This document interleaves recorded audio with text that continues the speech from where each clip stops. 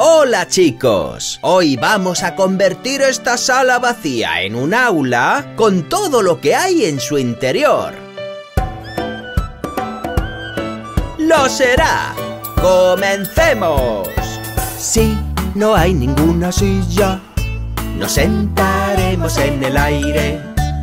Buscaremos unas sillas rojas para poder sentarse.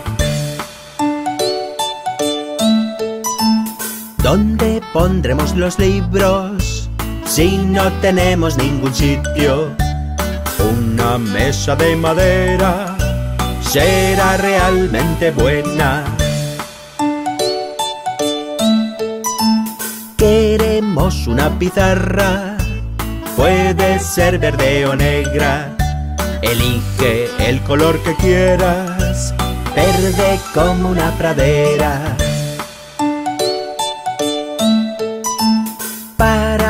Poder escribir, un pupitre elegir. Hará una buena pareja con esta silla roja. ¿Qué tenemos por aquí? Un armario va a venir. Es muy grande y espacioso y de color rojo.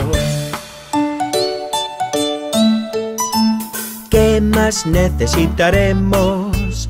Pues queremos escribir un bolígrafo azul y lápices negros así. Si cometemos errores, aunque somos los mejores, hará falta un borrador, eso será lo mejor. Llegado las mochilas con su nombre en cada una. Guardamos los materiales y así no se pierde nada. Nos gusta tener un mapa que se dobla en varias capas. Lo pegamos en la pared y todos lo podemos ver. Yo me pregunto ahora, ¿cómo sabremos la hora? Tic-tac, tic-tac, tic-tac, un reloj nos la dirá. ¿Dónde vamos a tirar lo que queremos desperdiciar?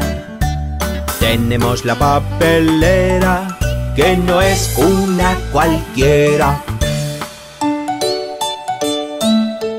Que vamos a necesitar para todo colocar.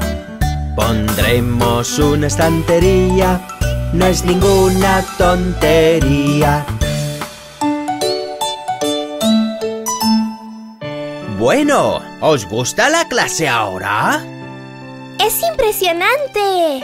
Muy bien. Entonces, ¿qué objetos vemos en un aula? Sillas, pupitres, armarios, libros, bolígrafos, lápices y sí, borradores, mapas, relojes y mochilas. Y pizarras, libros y mesas. Muy bien. Ahora vamos a empezar nuestra clase de hoy en esta encantadora aula. Espero que vosotros lo paséis tan bien en vuestra clase como nosotros. Volveremos con más canciones y muchas cosas que aprender. Hasta entonces, adiós.